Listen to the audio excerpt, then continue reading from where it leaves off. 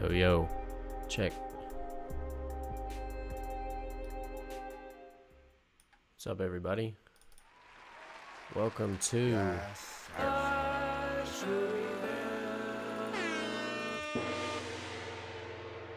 We're back. Good to be back on this rainy, rainy Saturday. It is storming here, pouring rain. Not a very good day outside, but luckily we got a nice space for a nice podcast. Big episode today, episode 27. 27 episodes. That's crazy. Big guest, former uh, colleague, I guess you could say. We went to high school together, Emma Pfitzer Price. She went to New York, studied at Juilliard, studied theater, acting. Super, super dope. Super big show. Lots to discuss. Lots to discuss. Uh, yeah, first things first, my email list. I think I might have talked about this last week, but uh, I'm having some trouble. Some people are getting the emails, and then some people aren't. There's something going on with my uh, server, so I'm working on that. Uh, but I've been sending emails again. As some of them people have been getting them, but some people haven't. So I'm gonna keep working on that, figuring that out. Um, there was something else really important that I wanted to say. Should have written it down. Oh, I'm going to Florida next week. My birthday is next Friday. Spending some time with some good friends down there in Boca Raton. So that's going to be nice.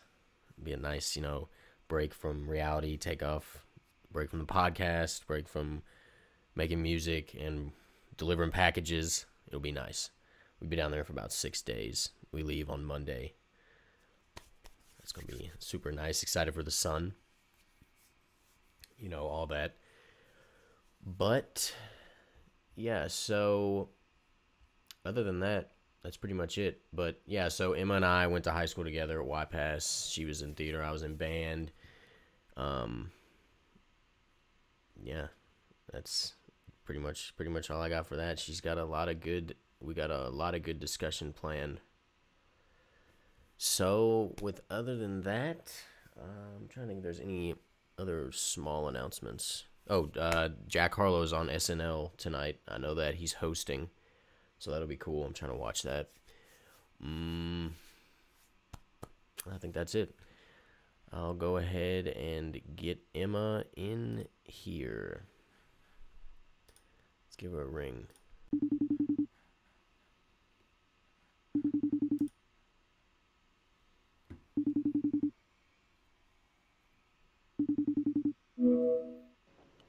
Emma. Hello, how's it going? Good. How are you? Good. Welcome to Lush Louisville. Amazing to Thank have you. you. for having me. Yes. How are you today? I am so good. There, there is not one cloud in the sky. It's Really? 60 something degrees. Uh, my dog is peacefully sleeping on the sofa, and it's gonna be a great Saturday. Can't- yeah, it sounds like you're on your way to a great Saturday. Can't ask for that. Yeah. Well, it is pouring rain here and storming. No. Eh, I You know. had a tornado. But no, well, we did the other night. Whenever remember, whenever me and you were talking on the phone, there was like the power went out, and then Yeah. there was it was a tornado warning, I think, but there never was. And then yesterday was super nice, and then today it's just storming. So, but hey, we got a great podcast, a great episode, so can't can't complain. So, um, Emma, I kind of gave everybody just a little bit of rundown of who you are and what you do, but kind of give us just a little bit of you know a background on, I guess who you are and what you do, but your background in Louisville and kind of where you came from, things like that. Sure. So I I grew up in Huntington, West Virginia, which is like Mm. this really small town in Hey, nice, Appalachia man. where like everyone is, you know, either from a family of doctors or a family of coal miners, or you're like a hippie bluegrass musician activist, and that's how you wound up there. Huh. And so I grew up there for the first seven years of my life, and then I my family moved to Louisville, um, which was sort of like the middle distance between Huntington and St. Louis, where my mom's side of the family is from. So we would always, as a kid, we would drive through Louisville, um, and just like drive through the downtown area. And I remember as a kid just being like, "Wow, like, what is this concrete jungle of What are these like, skyscrapers? what is this? Yeah. Yeah. And you know, now that I've met, now that I have some friends in um, towns that are smaller, um, deeper in Appalachia, they're like, oh no, Huntington is like that is a big town. So Yeah. it's funny how like that how that perspective sort of changes. But yeah, I, I moved to um, Louisville when I was yes, I was seven or eight, and still just kind of had this like boundless imagination, even though I didn't have as much nature around me. Yeah. Um, and so I kind of forced my neighborhood friends to play games with me and like create imaginary worlds. And okay, you Oh, have absolutely. this power, and I'm gonna be an airbender. And you know, Avatar: The Last Airbender was very big. oh yeah, I remember. I remember. Oh yeah, Favorite show, still my favorite show it's a great show. hands down. Um, but yeah, and honestly, that was kind of the start when I think about how I got into theater and performing.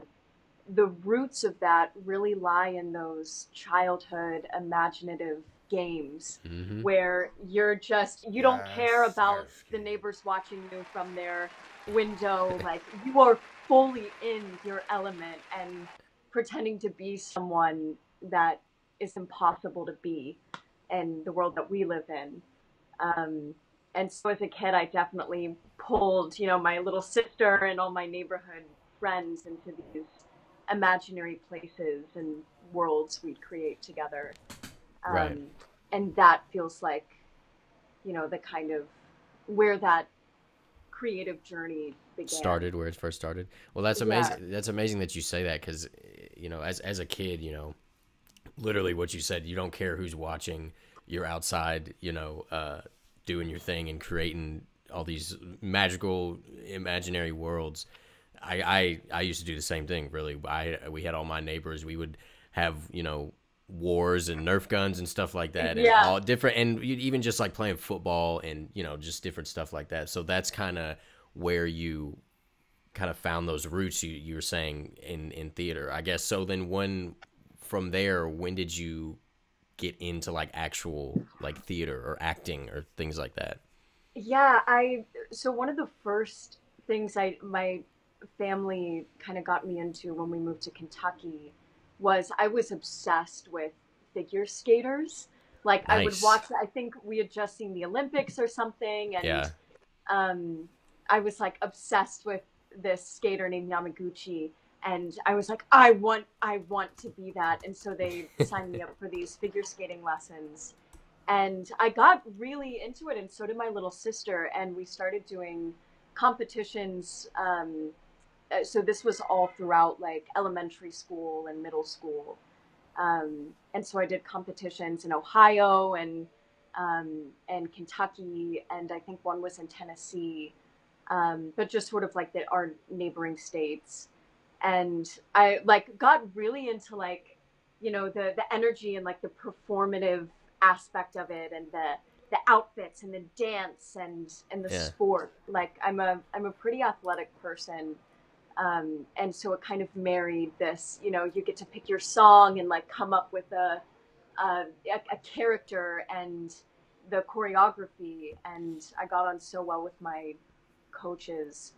And then there came this one day i started doing then you know from that i was like oh i love performing. And so my parents put me um, in classes at walden. So Yeah. I, at that point i was like or i did that alongside most of the time so i was nine or ten when i started at walden um, and i got so into the classes there that i sort of stopped you know i, I was doing the competitions but i think my heart was really in the community i had at walden because i found figure skating to be sort of isolating unless you were doing like synchronized skating because it's just you, your coach, and like the song that you're creating choreography to.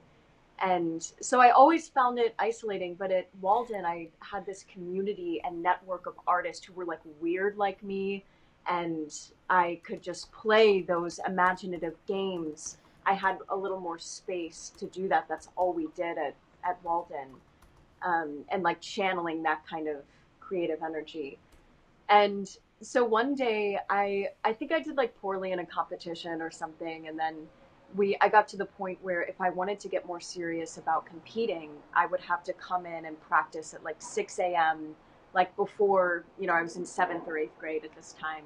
Yeah. And so my coach sat down with me and she was like, honestly, Emma, I just want to say, I think you're more into the performative aspect of this sport than you are into like the athletic essence yeah. of it. And I was like, I think you're right. And yeah. after that, never went to figure skating again and just fully invested in Walden.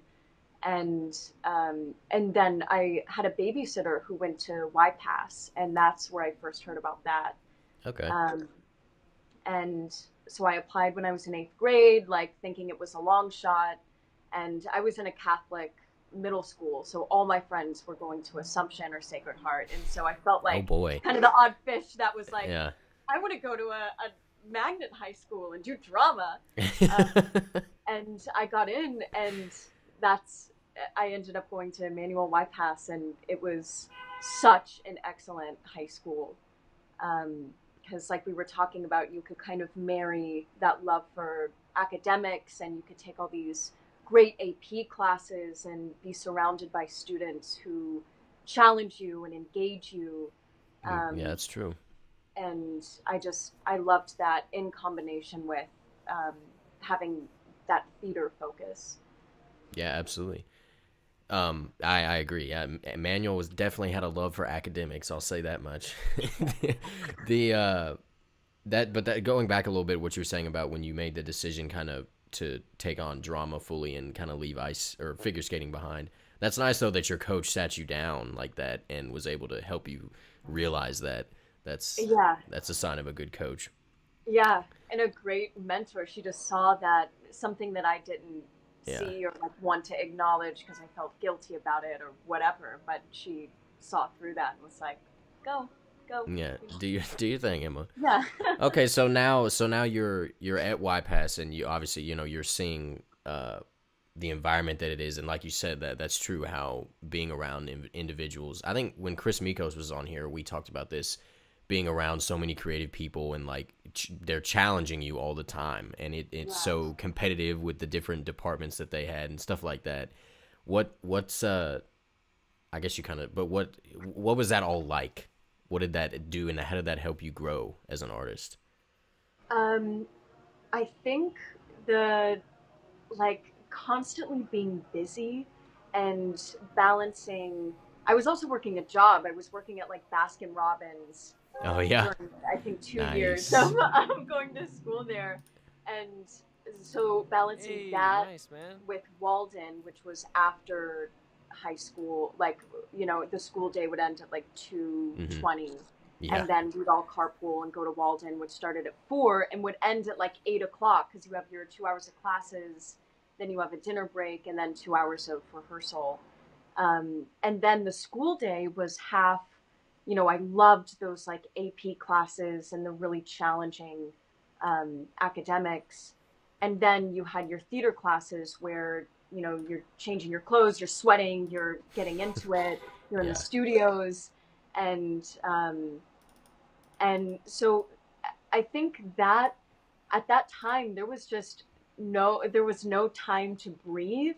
Mm-hmm. And for, for whatever reason, I find that really stimulating um, because you don't have any time to like doubt yourself or take a step back. Like you have to just, no matter if you're sleep deprived, vitamin C deficient, like you're just, you're young and you're going. Yeah. And, um, and then you're surrounded, all of your friends are doing the same thing. It's like you don't um, have time. You don't have time to think. You're just doing it. Yeah, you just do. You're just like this ball of activity. Yeah, all the time. Um, oh, I remember that. Yeah. Yeah. I was playing basketball for three and a half years and then doing on top of that YPAS and then the academics and it was just like oh my gosh but it was fun it was definitely a blast yeah and it makes away. me like an adaptable and flexible person the because, the mental yeah. the mental capacity for like stress that i learned yeah. you know i can take on a whole lot more now and it's just right. that's just how it is you know right but yeah, that's being sleep deprived and and like that, especially around finals time in high school, was definitely hungry. Definitely, I, I forgetting to eat, forgetting to eat was definitely a thing. And so we now, so let's talk a little bit more about Walden. And um, so you had the school day at Manual, and then you go to Walden. Um, so you had actual classes at Walden. You weren't just fully rehearsing. I didn't know that. Yeah. I didn't know Yeah, that. so the first two hours we would come, and this was, I guess, this started happening. You know, when I first joined Walden, it was just called the level you were in was called like improv. So you were doing a lot of games, and all those kids are like nine through 12. And Mhm. then once you're usually around the same time, you're like seventh, eighth grade going into high school.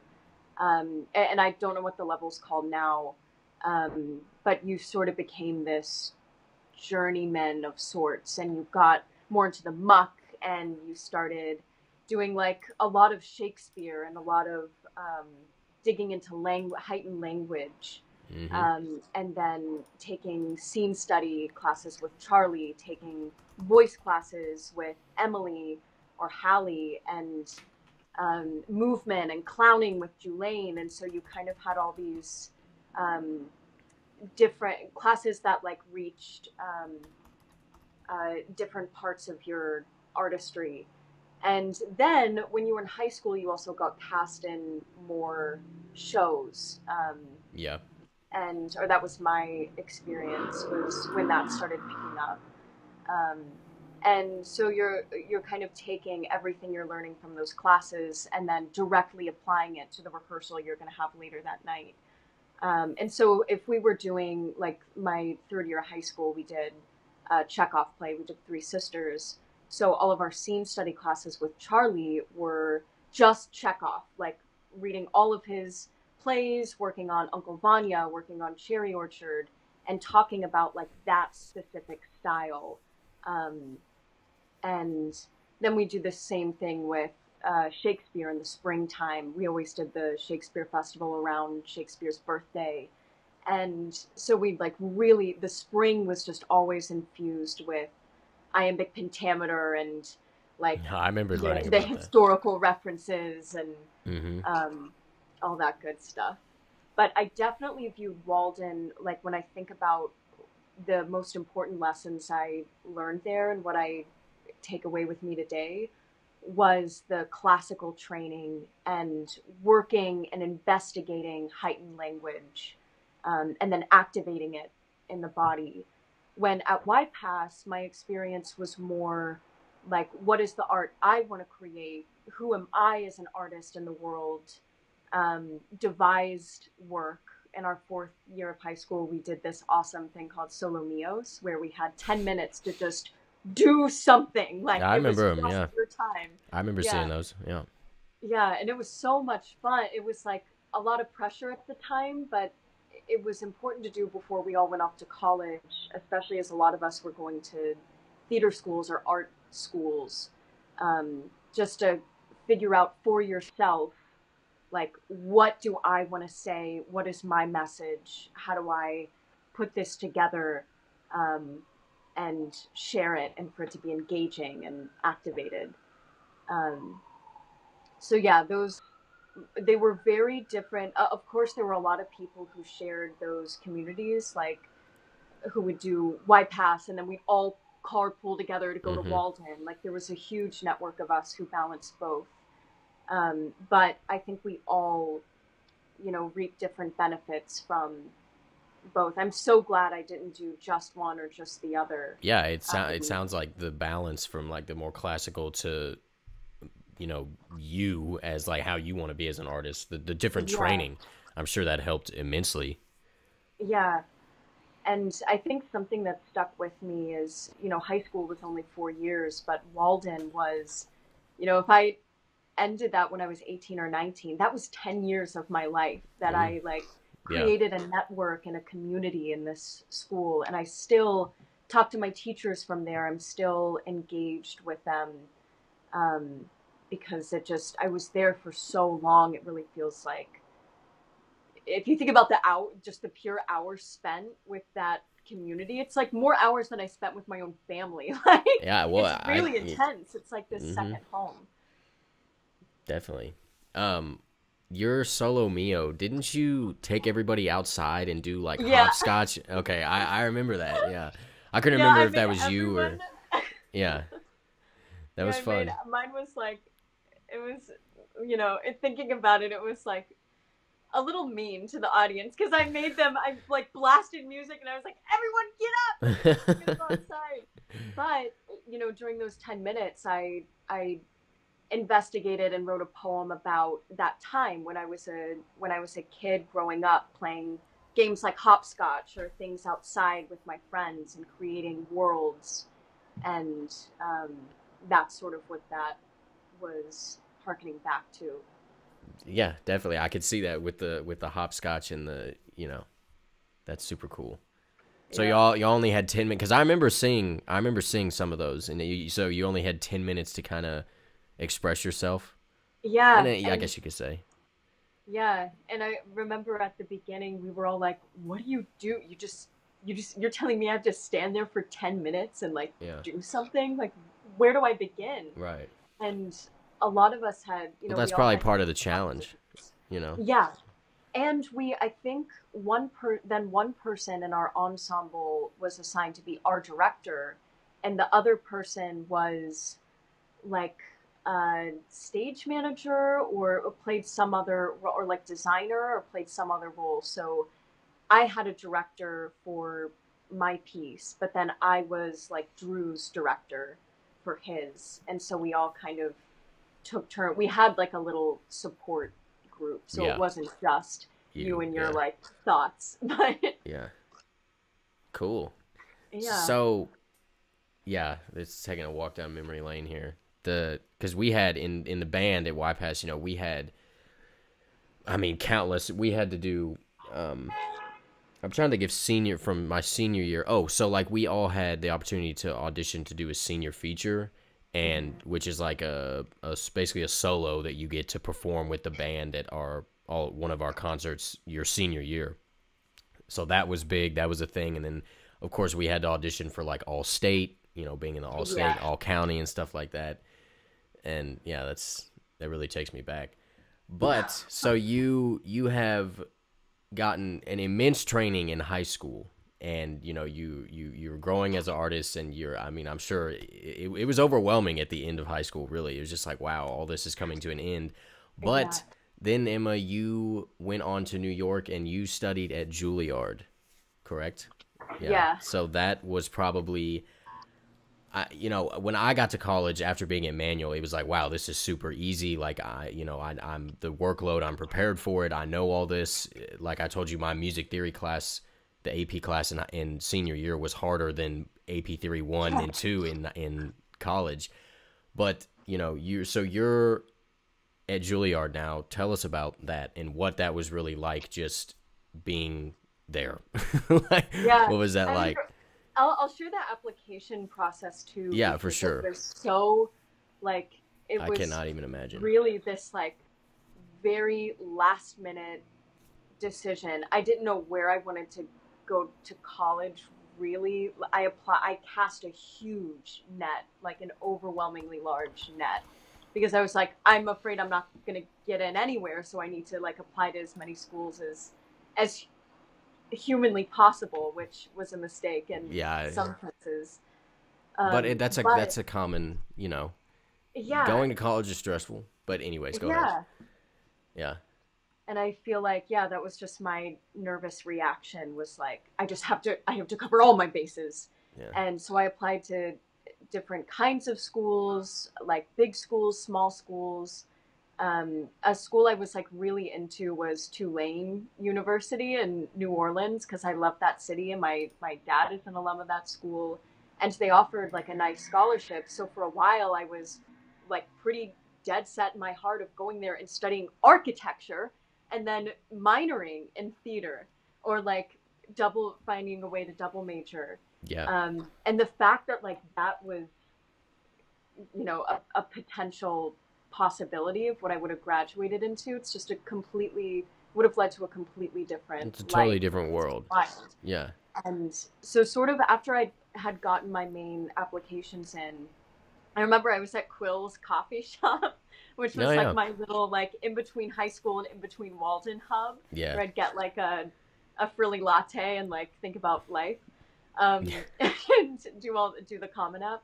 I was I just uh, kind of as like a whim, I looked at Juilliard's website and I saw their application fee was like, you know, however much just to turn in the Common App or just to turn in an essay. I'm sure. Yeah. I remember calling my dad and I was like, is this worth it? You know, like this is this is like a great school. I would love to go here, but it's such a long shot. Like is it worth do you think it's worth Oh. going for? yeah. And my dad said something like really prof- if he hadn't have said this, this wouldn't have happened probably. He was like, "Why would you not? Like that Yeah. is the that is the best place to get. You want to be an actor? That is like the place you can go to get the best training in America. Like why would you not? Just just like you know, do it. Just pay the fee and do it. Like what do you Just have to do it. Yep. Yeah. Um Facts. and so I I Yes, applied Irish right there. I hung up and I was like, okay, cool. And I applied, and you know, I think coming from Kentucky or um, talking to like my our artistic group about that school, we all had ideas about what it was. I thought it was like this prestigious, elitist, you know. I, I thought it was like in Iowa in like a cornfield, and it was this perfect glass building of like impossibly like coiffed artists and their violins. Like, I I just had very like messed up notions about what that school was. Hmm and because of the name and because of the the weight that it carries behind it.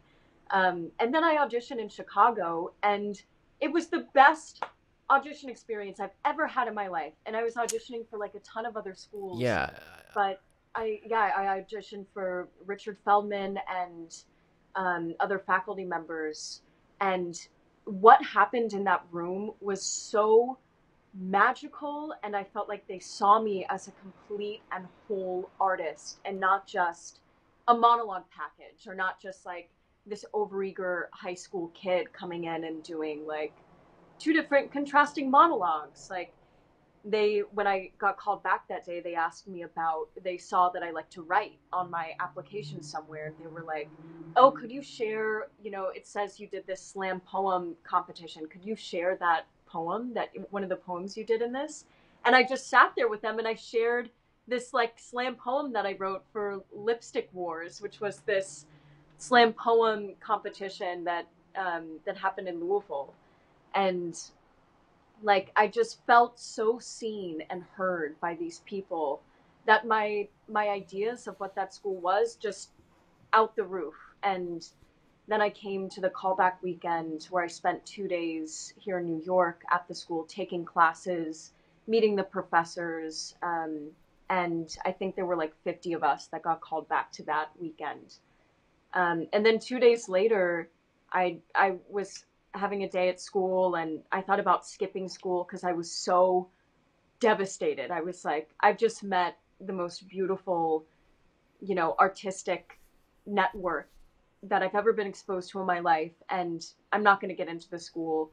and like, my life is over. I'm so sad that I just had this like magical, impossible weekend and did the work that like I want to do and I'm hungry to do for the next four years and then as I was in this like depths of despair, Kathy Hood um, called me on the phone and said that I had gotten into the school, and I just like I was so overwhelmed with gratitude, and from that point on, I was like. After walking around that school and being a part of the callback weekend, there was no other option. I was like, financially, I'm going to do whatever means necessary to make this happen and um, and to go here because I've never felt so tied to a place and it yeah and, and it challenged all notions that I had all of those like oh this isn't for a girl from Kentucky you know this isn't for me this isn't this is an impossible thing Yeah. um, it was just the most humble and grounded um, artists that I was so excited to to grow with for four years. Absolutely. That sounds amazing. And Yeah. didn't you said you were uh, in Chicago eh, auditioning for multiple schools? Didn't the theater program? Didn't you all take a trip to Yes. Chicago to do that? Because I remember like talking to like Addie and Hallie and everybody, they was saying that they were like all nervous about going to do that. Yeah, they yeah they put us up in this hotel. It's called Unifieds, and you just like it's all set up in this hotel room and all the business rooms, and you're surrounded by like high schoolers like stretching in the hallways and doing like vocal whatever, and you're like, oh Jesus, like I Yeah. just I just want to go to college and I just want to like study the art that I'm passionate about uh, and Understandable. yeah, but it's a stressful, Facts. you know. Yeah, it is. So walking into that room, I just felt so calm and at ease. Um, and yeah, and those four years there were incredibly challenging and beautiful and chaotic.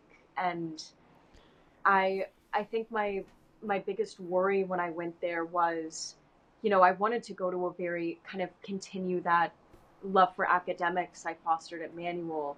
And I was like, if I'm just studying theater for four years, is that going to get lost? Like, how am I going to hold myself accountable for the, the academic education I want to receive? But then, you know, you're put in a class with, my class was 18 people, half MFA. So they were, you know, they had done undergrad. Most of them spent a few years in the workforce or doing something completely different and then had auditioned for the school. Um, and then the other half of the class was undergrad, but we all took classes together. Mhm. Um, and so my classmates and the plays we worked on and the drama, the dramaturgy we did for each of those projects, that was my education. And it like sounds wild, but you know, you're sitting there, you're doing table work for a play, and then you're reading this like, oh God, I don't know Roman history. I, I don't know. I don't know what I'm doing. but then there's someone across the table from me who's like, yeah, I studied that in, in undergrad, and I took this history class, and like, let me fill you in on what I know. And so all those gaps are like my feeling inadequate because I wasn't as old as half my classmates or as experienced. Like that, all of the that insecurity uh, kind of got taken care of because my classmates were so like humble and willing to use their um, educational resources as like you know helping and lifting me up and my younger classmates up instead of like holding it over me or making me feel like inadequate um, Yeah. and we worked on so many different kinds of plays plays that were like very physical and bodily and ensemble driven and then plays that were extremely heady where you're talking for two pages and you're like how how do i inform this so that i can engage an audience. Like i i need to know what i'm talking about so that they can i can carry my um, audience with me. And yeah so all of that different exposure was like the education exactly the kind of education i wanted to receive. I ended up getting that just through the worlds we were diving into. That's amazing. So that was, yeah, I can't even imagine. So now you're you're there and you're you're full, you're fully immersed and you're doing how many how many like shows did you actually do there? Oh, so every six weeks we had a different play project, or um, we call them like sharings. So it was like, or like a rehearsal showing. Yeah. So for the first two years, we wouldn't invite like outside folks unless it was family or like really close friends. But it was meant to be very private and, you know, because you want it to be about the work. And so we didn't have any like costumes or sets. We were just doing them in the, the same studios we were rehearsing in and then creating something out of like virtually nothing. And how does that challenge your imagination to you know, I I'm sweeping and I need to have a broom. So how do I, like, How do you do it that? would be like I need to book a, a studio for 30 minutes during my lunch break because I need to look in the mirror and like practice miming a, A broom, broom. so it looks realistic and so I can embody it and imagine what that feels like in my hands and the corners of dirt I'm missing. Like that's that was a lot of um, that time and then third and fourth year you use all of that kind of like the specificity work and the imaginative work um, and then in those years you're marrying it with the technique that you're learning. So you take alexander class which is about alignment. I know a lot of musicians study that too and uh, it's a huge core of juilliard is like aligning yourself so you can neutralize and take on a character and fully embody it from an, a neutralized place. Huh. Um, and able, like vocally, like when you're aligned in Alexander, you're vocally capable to do whatever you need to do because your instrument is completely open. Um, and then technique, like our voice work and breathing work. Um, and we took first and second year took a lot of wild like core you know with daryl's class um, daryl quinton we did this like workout cardio class for an hour and a half every other day. And just like pure you know sweating buckets like just like whipping your body into shape. Yeah. Um, so that you are able if you have to play caliban and you're crawling on the ground and you have to like jump up and um, swing on things. Like you're like, yeah, I got it. My I am confident that my body can take on that kind of a character. Um, and so yeah, so third and fourth year was a mar- I found to be a marriage of technique and technical skill that you were fostering those first um, years, and then your imagination, your creative process, your approach to a character, that that same you know imagination that you're when you're a kid and you're playing games and you just like no other care in the world you were just present and you are on it and you're with your partner um, and you're fully immersed in every detail of this world you've created together um, and so oh. third and fourth year you get the hair you get the wigs you get the makeup the costumes like in the pictures i sent you yeah. like um, just feel you get help and kind of filling out that world because you're trusted now to that you could create it without all that extra stuff that audiences expect when they sit down and watch a show. Right. Um, and thankfully, we got to do our fourth year rep um, before the COVID shutdown. And so we did that rep. So we did, my class did three different plays and then we had two weeks for spring break and by the time we came back our school was shut down and we could not access the studios anymore and new york was you know silent um, so it was a really interesting um, it, it's like don't one of those moments in life where like you can't take anything for granted yeah. because none of us got to really say goodbye to that building or to that you know, we did our showcase over Zoom just like this. Like I would talk to you like my scene partner. And that was incredible, like that we got to make that happen. Um, and we did a virtual graduation. But as far as like hugging my classmates who I they have seen me at my very best and my very worst, very man. worst for four years. Like it's you know, it just had to it had this very brisk ending. Yeah, um, abrupt for sure. Yeah. Man. Well, I want to go back for a second. What you were saying about the class you were taking about, um, you did the core and cardio workouts in. Yeah. I think it's definitely, uh, understated the the classes like that or the training you have to have as an actor to do things like that like you were saying like if you had yeah. to crawl around on the ground that's that's really interesting things like that. I'm sure those classes go a long way, and you get fit. You know. So. Yeah, yeah. and it's one of the. It's like, you know, being an actor is so beautiful because you're studying. It's the study of like humanity, and um, and so how do you?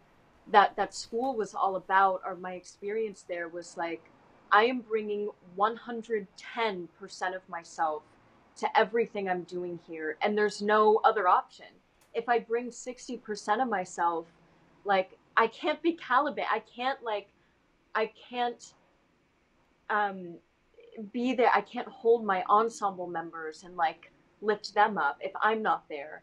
And so, as much as it's about self discovery, you have to bring yourself in and just work with. A big lesson for me there was working from where I'm at instead of like, you know, if I come in and I'm like, oh, sleepy, like this is hard, I can't do it today.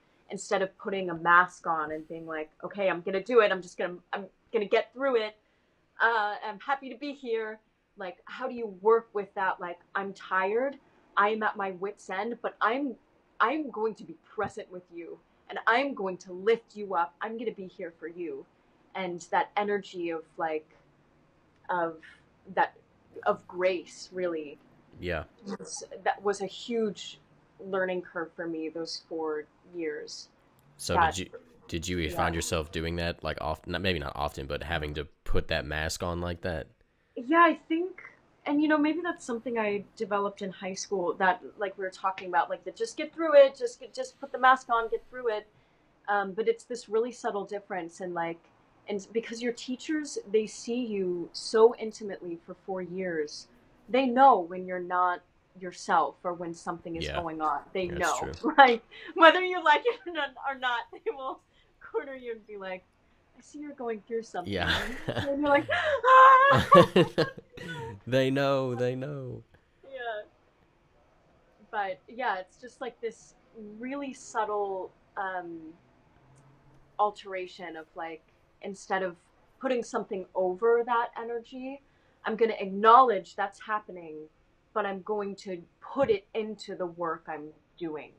So if I'm playing Masha and Three Sisters, and I'm having an awful day, how do I take that like mood and kind of infuse it into Masha, who's, you know, pining for, she's just like, oh, just get me to Moscow. Like, let me be with Vershinin and Rucker. Just so, how do you infuse, how does like what you are going through as a person, how can you infuse that into the character that you're meeting um, or that you're um, transforming yourself into? Facts. Yeah. So it's like it, from the difference from high school was it's more just like let's get through it, but now you're actually um, putting it into your work and using it to your advantage, I guess you could say. Yeah, yeah. That's amazing. So yeah, so then uh, you you didn't really get a graduation. COVID kind of screwed everything up. To say that for everybody, you know. That's just how it was. Um, and you talked to me about how New York had like totally changed when you came back from spring break and first of all i'm sorry that you didn't get a graduation that especially at that you know you didn't get to hug your friends and say goodbye that that's really rough um, but the just how did new york change? I mean as as vast and big as new york is with covid i can't even imagine. Just talk a little yeah. bit about that. And we had come back from like this we had just had our spring break and my boyfriend and i were in greece and he was also in my um, class at juilliard and had just like we the plan was you know we come back we have mainly industry classes and then we fly off to la to do our showcase um, and so we the the vacation felt like this, you know, relax completely so that we can come back and ready like, to go, yeah, get to work, ready to like jump into the industry. Um, but we came back, and the thing that we studied for four years to do is the first thing to shut down. It's like Broadway houses and theaters closed. Um, and you know, we were getting emails from the um, school while we were in Greece saying we're going to go to virtual classes. And I'll say, like, that school did an incredible job with making, like, Zoom classes, especially yeah. classes fourth years, like, helpful and relevant because we um, adapted our showcase to be on Zoom. And I felt like it was helpful for industry folks to see us on, like, a screen because a lot of those industry members are looking, you know, they're agents and managers and trying to envision us like in a self tape that they're going to send to casting directors for film and TV. And that's just the way our, our work is turning as these self tapes. Right. Um, and so it ended up being this really helpful thing. So we had, you know, we came back and there were things to do. Um, but when you walked outside around New York, it was this really, uh, I'm thinking about it because it was this time last year. And it was this odd juxtaposition of like spring blooming and like that time when the year is usually really hopeful and it's starting to bud and blossom yeah. Yeah. and then you walk around and it's just like desolate there's no one um, the, everything i love about new york is the collision and the diversity and the bodies in space um, running into people that like you haven't seen in two years but you run into a corner like you see them at a stoplight and no other place in the world like it feels like that kind of thing happens. Or just even just as much as i complained about it at the time getting onto a subway car and being jammed up against different bodies but you're looking around and you're like not one person in this car is the same as me or comes from the same looks like me or comes from the same experience as me and so all the things all of that that i love the most about the city was stripped away because of the pandemic. And so I think a lot of artists during that time here in New York got A, depressed, and then B, felt this pressure to like do something, like yeah. Something and into we're always sharing. And it was really odd for all of us to not have a community in our art or just feel like totally isolated and at home. When I was used to like you walk into school and there's your ensemble and you're all like half naked with each other and rolling on the studio floor like that that's my new york and that's my art um, and so a lot of it that time just felt in the city where it's very difficult to feel isolated mm-hmm. it was an incredibly isolating time Exp- yeah yeah man yeah, but, but you know from that you got to like think about what is the work I want to do. There was way more highlight on like the individual as opposed to me and my ensemble. It was like, oh, I'm I have to graduate from my ensemble and how how do I like carry these people with me because they define so much of who I am just like I do for them. Um, but what is like my what is the work I want to do and what can I envision myself doing in the next five years? What are my goals, my personal goals? How do I get there? And then all of our work was like doing self tapes and be like mastering the art of the self tape where you you know have to you have a reader but you have to full you get a script you get an audition you have to memorize it in 24 to 48 hours. Jeez. record it and like be your own director um, and then send it off to your management who sends it off to casting. And so perfecting that and getting comfortable with that art. Um, i call it art because it's just like so it's it was a huge learning curve for me after coming from the theater where like i said you have six weeks to like investigate a script and to create a character now all of a sudden you know the past year my work has been you get an audition. Okay, clock's ticking. Like, what are you gonna do? Yeah. With how much can you change yourself and like jump into this world? But you have to do like all of that specificity you worked on at Juilliard, all of that technique and that imagination. It's just it's all the same, but you have to infuse it in a shorter amount of time. Um, and so, uh, yeah, a lot as isolating as this time has been, it's also been like you know, learning what that is for me and um, and taking my own time and process with it. And you're living in New York now, correct? Yeah, yeah. So I've been here um, the whole time. wow. for better or for worse. Yeah, I, I, can imagine. So you yeah. now you know you're able to focus a little more on the individual, like you were saying, and now you're not in school. Um, what are you working on currently? like project so creative wise yeah there's there's the tapes which is like that's my work um, but then they come and go there's like weeks where there might be like a tape I need to crank out every single day, mm-hmm. or an mm-hmm. audition I need to do, or like a meeting or a callback. And so there can be weeks where like every day is infused with that. And then there's weeks where like you might not have anything. And so how do you fill that time? How, like we were talking about, how do you hold yourself accountable? Yes, yes. To like still being a creator and an art maker. And now it's like on you. It's like I don't have to do this when you're auditioning. It's someone else's vision that Facts. you're, you know, you're like on board with and you're game to meet.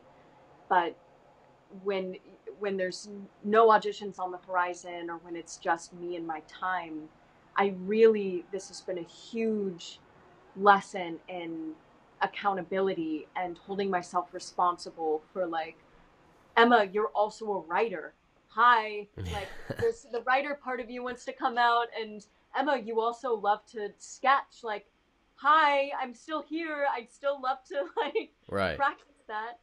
Um and so I I think just as a and this is something I've known about myself for a long time, but I'm very I'm I think I'm I can acknowledge I'm good at planting seeds of things and fostering beginnings and getting excited about like something new and change and like that is where I rest really easily and where I find the most joy in the process is the beginning and that like that spark and that meeting moment where you have this idea and it's your own and you're planning out how to see it through and you're like i got this and then you know life happens or like mm-hmm. i'm i'm working at a montessori school which is my full-time job that's a time commitment.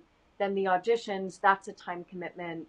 Um, and you know make and, and you make up excuses for yourself or you get distracted. And so there's a lot of things I started when I was at Juilliard um, because I I think it was easy to start a lot of those extra processes mm-hmm. um, because I was surround I was in a school surrounded by people performing at that 110% and so you just never you never want to get lazy or like not see something through yeah you can't um, afford you can't afford to get lazy.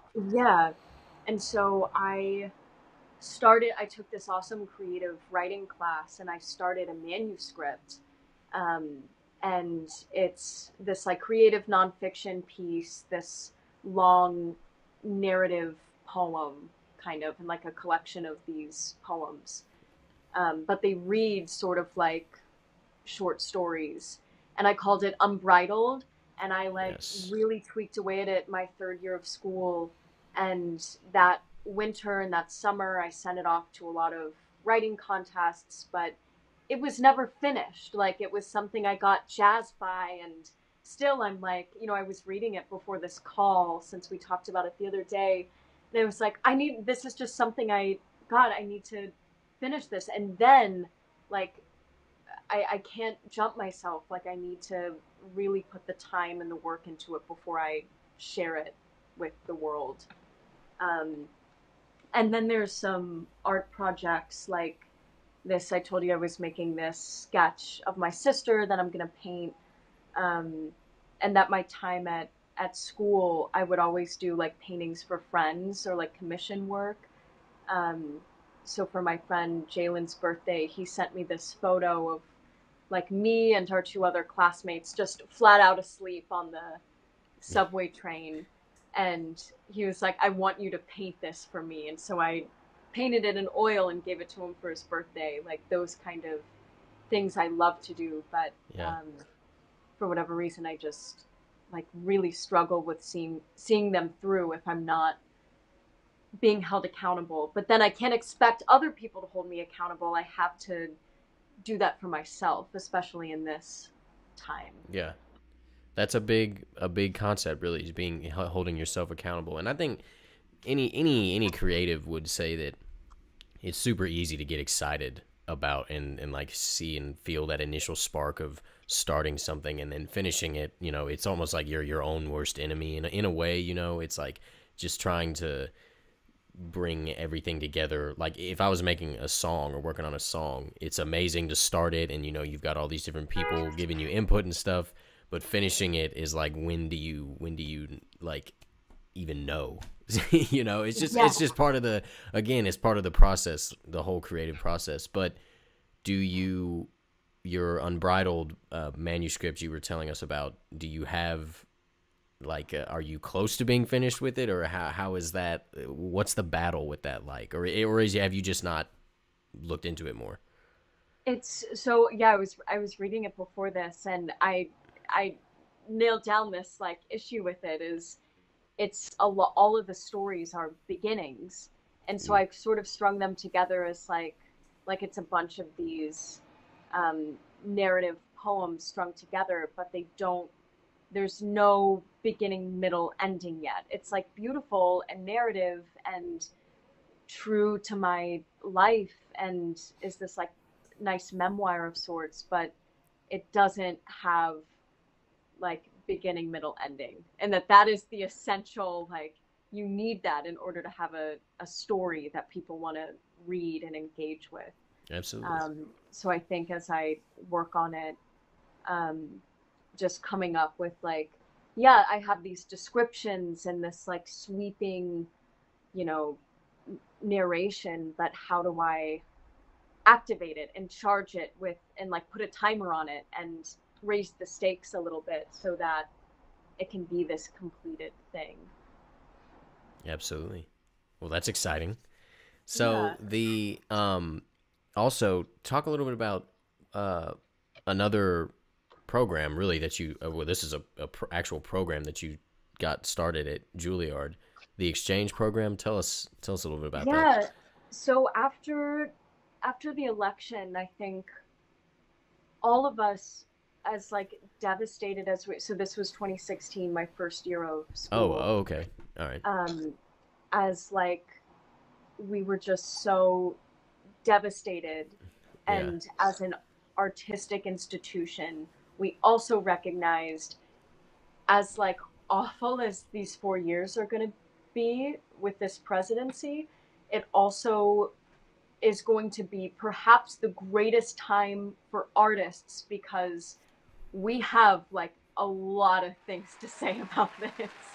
And we have a lot of like, Facts. it just yes, activated us in a way of like, oh, I have something to say about that. and and so a lot of us, you know, we explored ways that we could combine our activism with our um, artistry.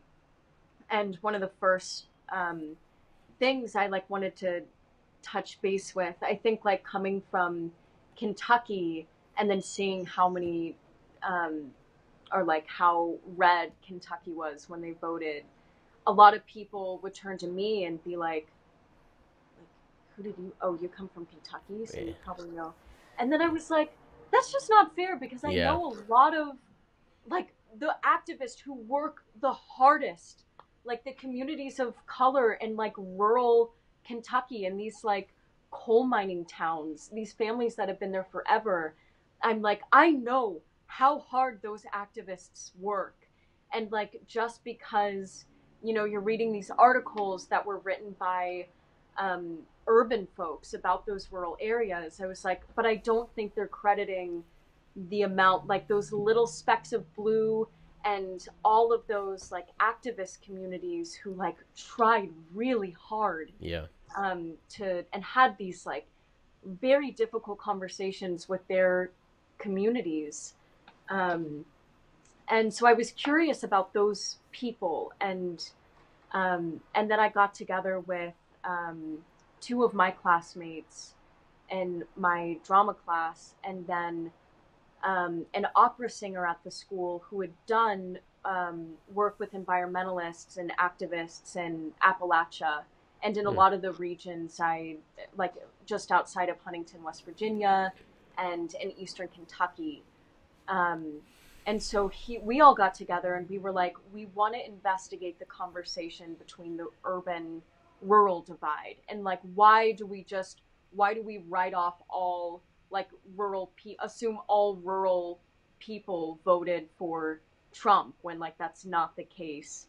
Or why and then why do rural people like see urban urbanites as like you know sucking up all opportunity or like what are these stereotypes we have for or against each other? And how does it divide us politically? How can art kind of bring us back together or like at least get us in a space where we can have a working conversation um, that's you know that's coming from a place of empathy?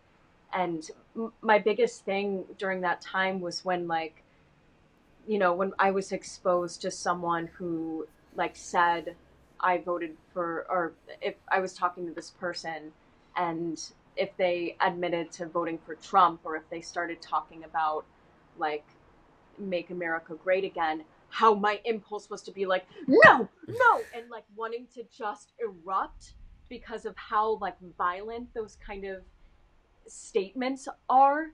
Like how do you control that impulse and like actually have a conversation like well why why did you vote for him? What did you see in his policy? Like why what is your experience? What are your hardships that like you would turn to um just you know a monster like that and expect him to be our nation's leader?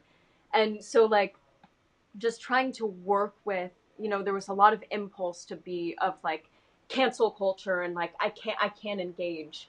And as much as i participated in that cancel culture this um this project was an excellent lesson in like you know sit in that discomfort and how can we create like change out of this? Or how can we break this down and like really observe where we're going wrong here? Or where we're just like you know but it was writing off rural people as like this those stereotypes when i was like i grew up around active the strongest activists i know were from eastern kentucky and um and so we went down to that first year of school we all four went down to whitesburg kentucky and we got a grant from juilliard um, to do this work. And then you know when you're working with a small community like that and you are the outsider and you came from a lot of privilege. Like we were coming we were four juilliard students coming from new york city. Yeah. we got a grant to come down here. How do you work with that privilege? And it's just like white privilege. Like how do Yeah. i acknowledge that i have this privilege and then um and then use it to lift up people of less privileged people in a less privileged Yes, position that's instead of like separating myself or like allowing that to make me feel guilty. It's like acknowledge it and then like I was saying at school, it's like acknowledge that thing and then work with it. Like okay, I I recognize like we got all this funding to come down here, but every ounce of that money is going to be for us and for like it's going to be shared Yeah. um, for the work that we want to create, not the work we want to like do for you. It's like for us to meet in a common space. Um, and so we did like potlucks with the community. We met with this um, this awesome program called AMI Appalachian Media Institute, and that was like high school age students and older um, who had and who were like you know some of the just the most like equitable and like like charged with like activism people. And you know they're living in this like ru- very small town in appalachia um, and so getting together with them and then creating a piece about the urban rural divide um, and I- think the one of their main concerns with like us, even us coming down there, was like, you know, people are fascinated by Appalachia. They want to come and they want to tell our story for us. They want to come and like paint us as something that maybe we aren't Yeah. and you know they're looking at they're not document um, documentaries aren't going down there to like not always going down there to document like all the activism that's happening there they might be going down to like you know heighten the poverty and like oh look that's why all of them believe this politically when it's like no not all people ha- yeah they come from hardship but they didn't vote for trump actually they're like really fighting against um, against him. And so it was just really, and then, you know, coming from, yeah, like I said, coming from the privilege we have, there was also this thing of like the hero complex, like acknowledging there's this thing when you, I, I have a lot of privilege, like having gotten out of Kentucky and having gotten to like have a college experience out of that state and then coming back to that state to do um, artistic and um, political work, like how do you not fall into this hero complex where you're like, I'm here to help your community, to like, I'm here to share what I've learned. It's like, no, no. how do you how do you come and like just like acknowledging the experience you've had, but like meeting truly in the middle and coming in with an open heart and understanding that they you know even though i came from huntington they see huntington as like this huge sp- sprawling urban place full of a lot of privilege. Um, and so it was this extremely humbling and informative time. And i think you know we were rolling with it and wanted certainly wanted to continue.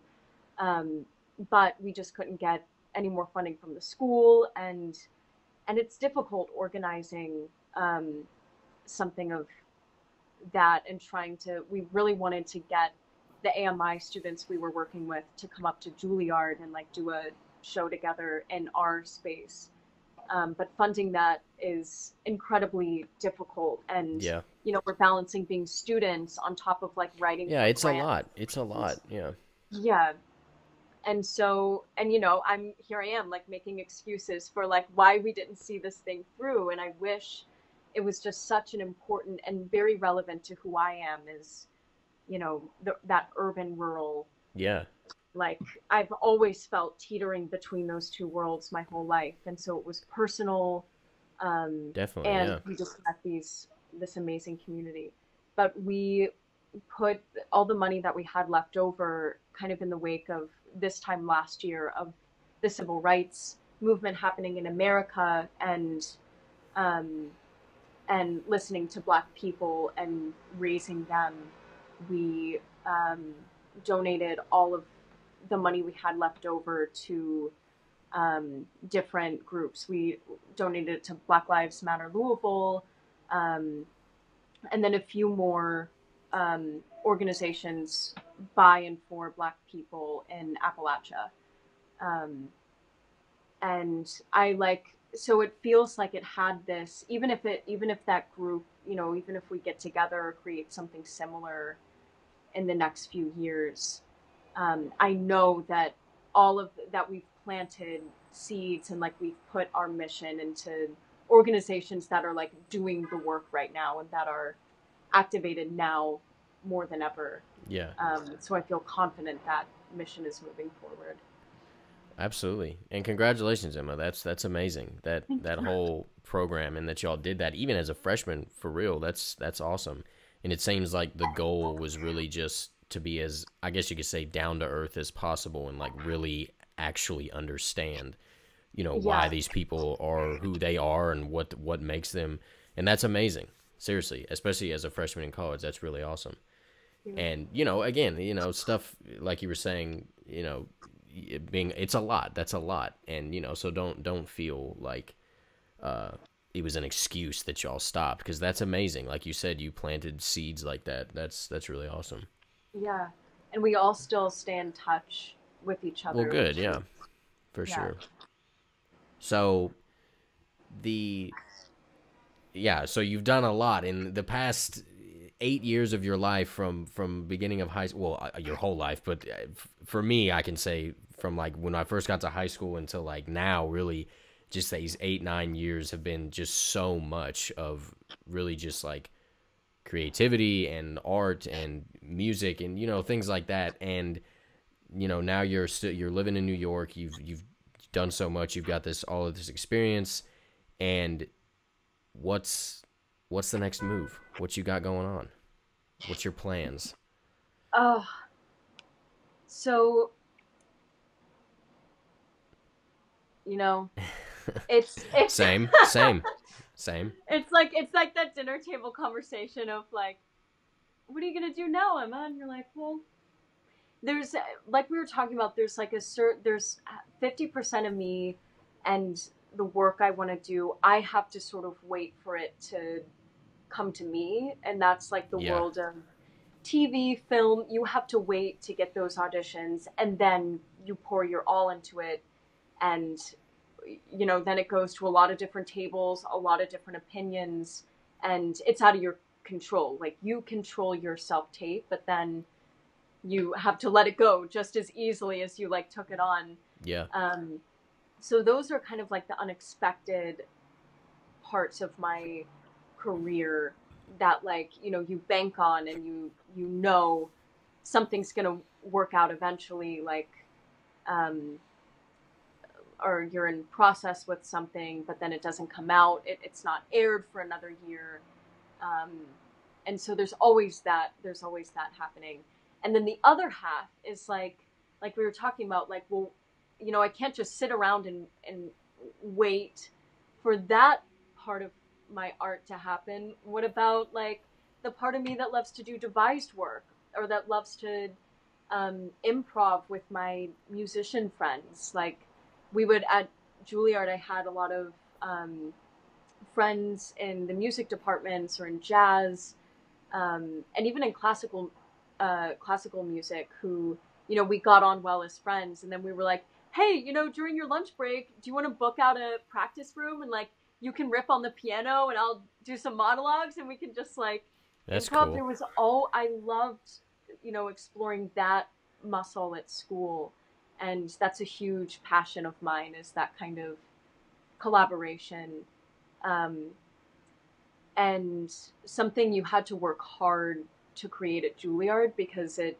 it feels when I first um, came to that school, it often felt you felt very divided from the dancers and from the musicians because you're so you're in this monastic study of like your thing. Um, so yeah, I love I love that, and sometimes those opportunities come through, or like um, things with um, my friend created this group called Promptus, which is this exactly that. It's like this improvisational group of composers, dancers, actors, writers, um, and musicians. And when events were happening, like throughout um, the past three years, we would like get together. We'd like book out a WeWork studio or something, or some kind of performance space, and then we'd create these like improvisational shows. Yeah. And so hopefully that will kind of um, will pick up in a little bit. And then there's like virtual readings and um, and those kind of things. But I think my so for the parts, you know, it's it's same for you. It's like there's parts of our careers that like we can dream about and we can sort of predict, and then there's other parts that's like you know, I just I have no idea. And I Yeah. will say yes. I will say yes when it comes and I will like put my all into it. But I what I know is that I I want to be an actor and the 4 years at Juilliard proved to me that I am capable and I feel well equipped and I feel like I my creative process is clear and defined. And my only thing is I I just don't want to be pigeonholed into one um, performative yeah. aspect. Like I don't I don't just you know my dream career would be like you know do re- reinvigorate the urban rural artist exchange and like yeah. have you know do um, devised work that combines my love for politics and activism and community organizing. And then you know a month after that go to an indie film that shoots in Hawaii, I don't know, and then the next month do a, a reading for an off Broadway thing, and then you know the next month do uh, an improv show with like my friends, and just never being tied down to one medium. Yeah. Um, and then all the while holding myself accountable to like read the books that I have on my never-ending list of books I want to read and finishing the sketch and painting it and sending this manuscript somewhere and Yeah, seeing through it's like the like yeah, exactly. It's like the Yeah. li- even even like you were saying like reading books that you want to read. Other various aspects of just enjoying life, you know, just because I've been reading more too, trying to read more books Yeah. And you know things along that line. But it's all you know, just go with the flow, I guess. Especially in this in this era with, but COVID apparently COVID is getting under control. I, I don't know in New York if it's like any better. Is it? I I would assume it's a little better, like Yeah, COVID I in mean, general. we like my boyfriend and I are both fully vaccinated. A lot of our friends are vaccinated. Like the vaccines feel super accessible. Yeah. Um, and that it seems like hospitals are doing this thing where if um, if they have extras, even if you aren't eligible right now, they're just like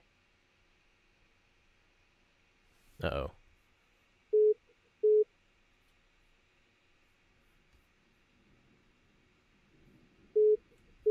let's get her back. Yo, you good? there you are. Yeah, sorry. Yeah, FaceTime failed. That's all right. But what were you saying about the vaccines and stuff?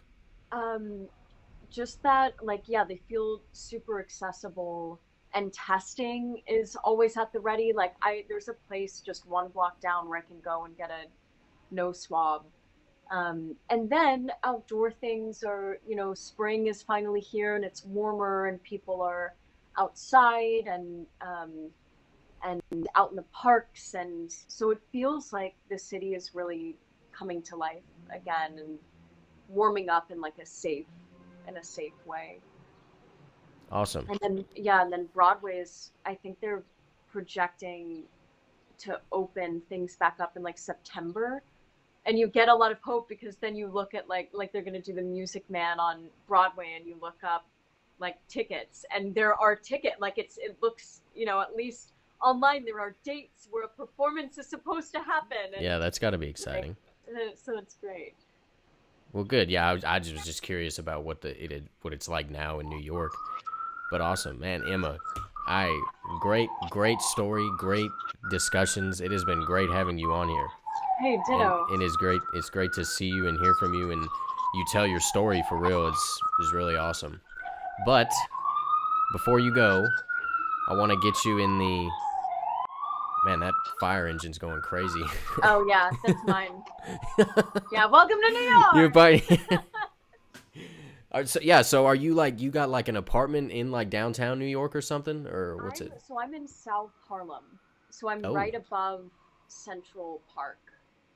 Nice. Yeah. I bet that's cool. I bet that's uh, little. uh Is that expensive? No, actually. Really? Well, that's It's, good. well, I mean, it's it's expensive when I'm talking to my friends who like live in Bowling Green, and they're like, "Yeah, I'm paying three hundred dollars for a full house like every month. I'm Yeah. just renting it." I'm like, "Okay, I'm just gonna go cry." um, but yeah, for right now, for what it is, and like for for what we have in this space, it's it's great. awesome. Yeah. So okay. Anyways, I'm gonna get you in the lush lockdown, Emma. All right. So you, I'm gonna give you ask you a couple questions. Uh, Okay. Totally, totally opinion based about Louisville, and I just want you to. I just uh, always curious about what you have to people have to say. All right. So you're in Louisville, Emma. You have ten dollars. You got. Where are you going to eat? You got nine seconds. Spinelli's. Spinelli's. Okay. You know Okay. Okay. Spinelli's? Oh yeah, yeah, yeah, Yeah. I haven't been there in a long time, but they don't they give you like the huge slices of pizza? It's awesome. It's I never liked pizza until I had to go to Spinelli's for like dinner breaks at Walden and became obsessed. And just like the culture, like the punk music shows that would happen there and the like naked Yeah. man on the wall, like it was just always Yeah. a fun time. It's definitely like a funky environment. yeah. All right, all right, good answer, good answer. Okay, second question. Best, hmm, the best venue in Louisville to see a show? You got nine seconds. Oh, Palace Theater. Okay, that's see, that's what I was thinking. A, a lot of a lot of people will say that, or like, um, uh, the Mercury Ballroom. I think Mercury Ballroom is more for Yes. like music performances. I don't. I've never been to the Mercury Ballroom, but why do you like the Palace? Whoops. Why do you Why do you like the Palace so oh, much? I. It's just like it's that old world like stuff. When you go, you're like, I'm seeing. I'm about to have like. I'm about to be transported somewhere, Yeah. and it's it's just so like old school and lovely. I think I saw Ben Sollee there, and Wow. um, oh, I saw uh, Ed Sheeran there when I was like a big One Direction fan, and they were always hyping up Ed Sheeran. Um, And it was just a lovely like acoustic concert, um, and probably some more things there that I can't remember. But I just Yeah. always feel like transported there. Yeah. All right, all right. Yeah, that that is definitely a cool. I've been there t- twice, I think, to see a couple of shows. It's su- super cool setting and like the the big pillars and stuff like that. It's it's like a nice, super cool, super cool place. All right, all right. Last question, Emma. Best park in Louisville. You got nine seconds. Um, There's a lot. There's a lot. Three. Tom Sawyer, Two? which is a really random answer. Okay. Yeah. But Tom Sawyer has like these. Um, it was like the first park that I went to in Louisville. I remember, and like there's there's like the main loop, and like everyone does that loop. But I would always run in. There's like a little forest area, and like I'd see deer. I would see turkey. I saw a wild dog once. Like almost got chased down. Like just Uh-oh. exciting. It felt like being out in like rustic nature, even though it's like a 30 minute drive outside of downtown. Yeah, yeah, that yeah. I, I uh, Tom Sawyer is not far from where my parents live. Yeah. But I didn't spend too much time out there. I went there some, but the the parks that I went to, I don't even know. I guess like I spent a good amount of time at Cherokee the last couple of years. yeah. Um, Seneca, Seneca probably Seneca Park over by in St. Matthews. But yes. yeah, I never spent too much time at Tom Sawyer. But it is a very big park. A lot of cool trails and stuff like that. Yeah. I'd go to Seneca for like night runs because Yeah, they have that the- there's, huge. like- yeah. yeah, and they have the lights, and then you can cross over to Cherokee on like the bridge or Yeah. whatever. Yeah. Um, so for cross country practice, I remember doing that. Yeah, for sure. Well, Emma, I cannot thank you enough for coming on here and being part of Lush Louisville, episode 27. It's been amazing to have you and hearing your story and your growth, growing as an artist from when when you were in your imaginary worlds to when you're when you're graduated Juilliard living in New York. It's amazing. And I've had a couple people text me already, and they were saying that I love her story. So that's uh, Oh, Uh, awesome! yeah, so I really appreciate you coming on here. And uh, uh, any any final thoughts, closing closing comments? Um, no, I think like talking on here. Thank you so much for having Absolutely. me. Like, I think what you're doing for like young artists in Louisville, like this is just essential. Is like highlighting us and our stories because we're all we're just all over the world. Like, yeah, everybody's in different places now from when we knew each other in high school. and that we just wouldn't you know louisville is such a special and changing um, artistic community and i think it's like taught all of us to be the art to cultivate like the artists we are today um, and yeah how how wonderful that city is Absolutely. yeah And we where can we connect with you? I've got your Instagram pulled up here. It's just Emma Fitz. Is yes that you you use Instagram a lot? It looks like I- it. yeah probably Insta- you know i try to do my like stay off of it until saturday but I feel like that. so, social media saturday Yeah. Yeah. like Social know, that Saturdays. stuff it can become like a you know Yeah, I I, I try to I actually delete my Instagram every now like more frequently now because it's just like I'm done with this for a while. Yeah. You know, it's just it can, it can be a Feel bad your brain cells. Exactly, exactly. Just sit there scrolling is like nah. yeah. But Yeah, but probably that, and then I'm on Facebook, but say I probably use Instagram. More. I probably hop on there more. What's your Facebook? Is it just Emma Pfitzer Price? Yeah, Emma. Okay. yeah, two And last there- names. Yeah, and there's a P. there's a P before the F in Pfitzer Price. Yeah. If you can't, if y'all Yeah. can't see that, just Pop Fitzer. Yeah, Puff Fitzer. there you go.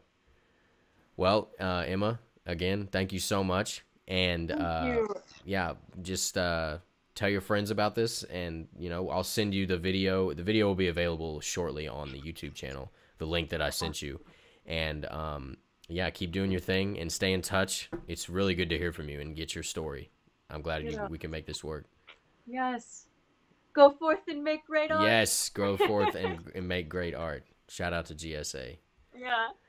So, all right, Emma. Well, you be safe. Have a great rest of your Saturday on the beautiful in the beautiful sun that I am not getting to experience. It's Uh, currently still thundering here, so uh shaking my head. dance in the rain. The day. it's still a great day. I'm gonna go dance in the rain. All right, Emma. You be safe. Okay. Great to see you. too. All right. We'll talk soon. To you. Yep. Bye bye. Bye. Man.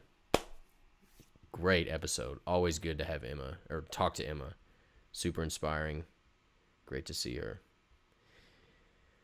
Let's uh yeah. So again, um, I'm gonna have this episode available shortly. I'm gonna do a little editing on it. Uh, it'll be available tonight. But again, yeah, follow Emma. Stay in touch with her. She's uh, obviously doing a lot. Got a lot of things going on, and uh,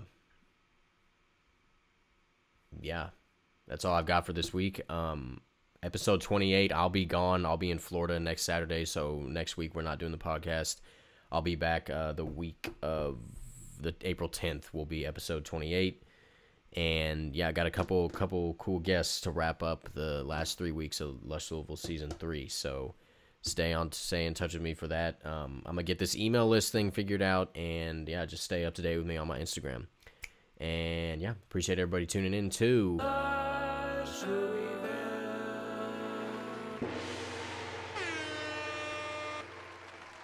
Yes, Sarsky.